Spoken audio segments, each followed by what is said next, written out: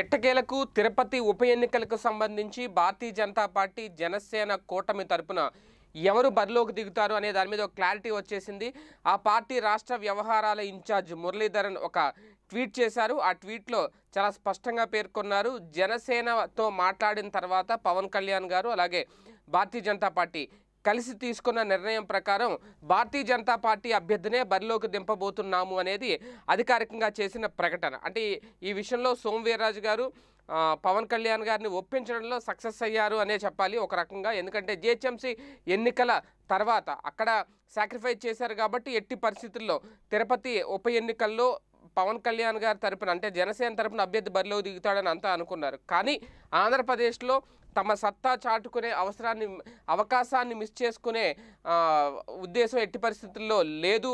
భారతీయ జనతా పార్టీకి అనేది చాలా స్పష్టంగా అర్థమవుతుంది. అయితే ఇప్పుడు అభ్యర్థి ఎవరు అనేది అంటే భారతీయ జనతా పార్టీ ఇంకా చెప్పేసింది భారతీయ జనతా పార్టీ అభ్యర్థి బరిలోకి దిగుతారని. అయితే ఇప్పుడు అభ్యర్థిని ఎవరిని రంగంలో దింపుతారని? వాస్తవానికి రిటైర్డ్ జస్టిస్లను రంగంలో దింపే అవకాశం ఉంది అని చెప్పి గతంలో ఓ ప్రచారం జరిగింది. ఎందుకంటే బీజేపీ తరఫున పోటీ చేసిన గతంలో రిటైర్డ్ ఐఏఎస్ అధికారి వెంకటస్వామి గతంలో ఆయన ఒకసారి విజయం సాధించడం జరిగింది.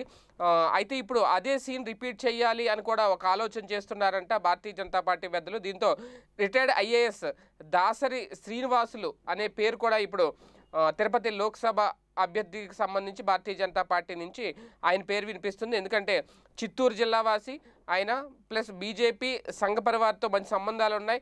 ఆర్ఎస్ఎస్కు అనుబంధంగా కూడా ఉన్న సమరసత్త వేదికను ఆయన నిర్వహిస్తున్నారు. ఆ సంస్థ ద్వారా హిందూ ధార్మిక ప్రచారం అలాగే ఆలయాల అభివృద్ధి గో సంరక్షణ వంటి కార్యక్రమాలు కూడా నిర్వహిస్తున్నారు. దాసరి శ్రీనివాసులే తిరుపతి భారతీయ జనతా పార్టీ తరపున ఎంపీ అభ్యర్థి కావచ్చు అనేది ఒక బలంగా వినిపిస్తోంది. అలాగే దాసరి శ్రీనివాస్తో పాటు మరికొంతమంది రిటైర్డ్ అధికారుల పేర్లు కూడా బీజేపీ అధిష్టానం ఇప్పటికే పరిశీలించి పెట్టుకుందంట.